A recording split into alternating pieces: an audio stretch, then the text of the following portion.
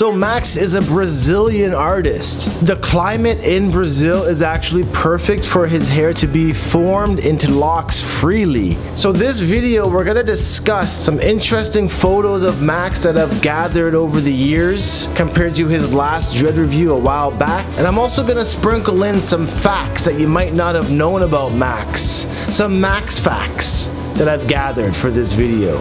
So enjoy the content. Without further ado, let's get into this episode.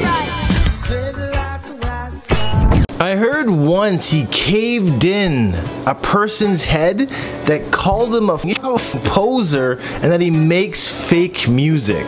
He was surprised that the guy didn't get killed from his rock bashing because apparently the victim was bleeding a lot all over the place. Another thing you might have heard about Max Cavalera, briefly he was raised by a gun-toting Bolivian drug lord who dated his mother. This man actually offered Max and his brother mafia protection for anybody that tried to fuck with them. One time Max puked on the lead vocalist of Pearl Jam, Eddie Vedder. Sepultura was often invited to party with Al Jourgensen and friends. One such gathering occurred following a concert in Seattle when members of Pearl Jam and Soundgarden dropped by to say what up to the headliners of Sepultura. The excitement of the evening rather got the better of Max, who puked all over lead vocalist Eddie Vedder after drinking some neat rum. Vedder graciously brushed off the accident and remained charmed subsequently when Max went ahead and asked Eddie for an autograph for his sister. In 2006, Max got arrested for shoplifting vodka out of a grocery store.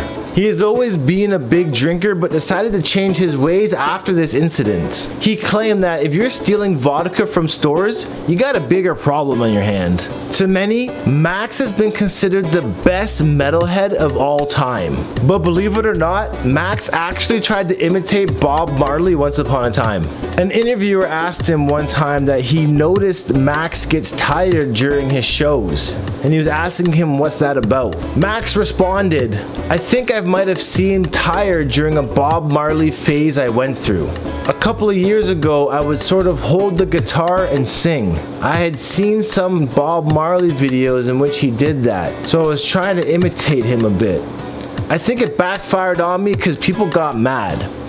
And he's talking about the way that Bob Marley would just hold the guitar behind his back or in front of him and just focus on singing and not actually playing the guitar. But in reality, why would that make somebody more tired than actually playing and singing at the same time? Little did I know Max is a huge Bob Marley fan. I noticed that he rocks some Rasta colors on his on his jackets. He's got the dreadlocks. Max actually mentions that the Catch a Fire album from Bob Marley is his favorite of all time.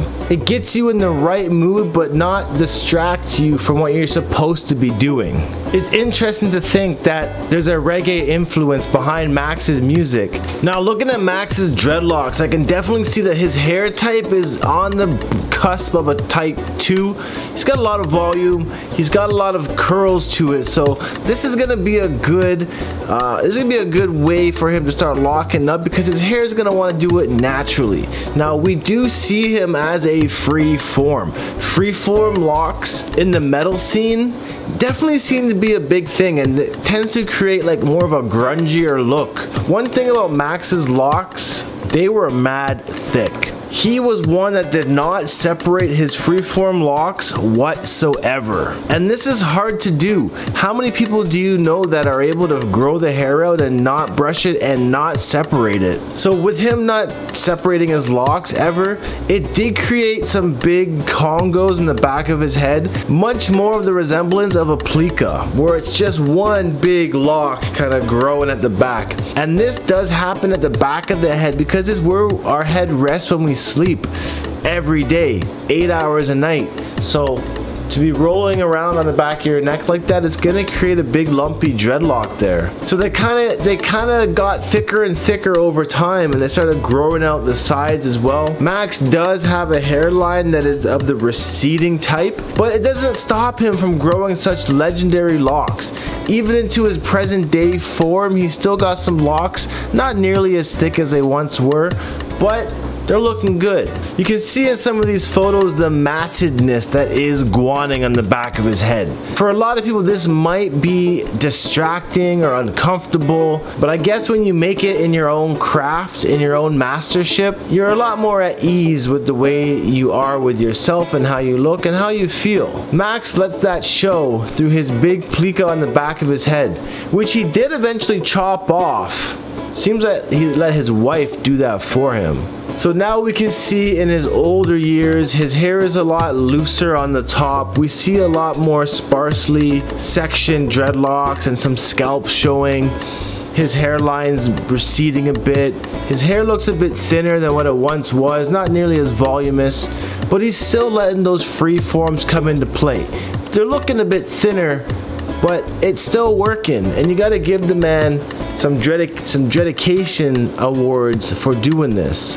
But in fact, in this one photo here, we can see that he still got that big plica in the back that is just massive. So I wanted to end this video off here with this photo of his wife who had cut off his lock, big lock.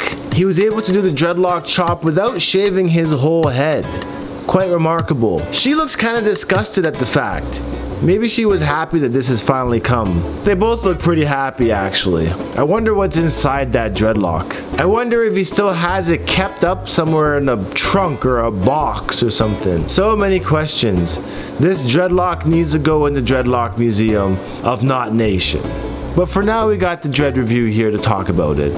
So let me know in the comments down below what you guys think of this video. And of course, I'll see you guys next time. I'm gone. And just remember, if you like this video, you know what to do and smash the like button down below. You don't have to. If you didn't like it, then click off and leave.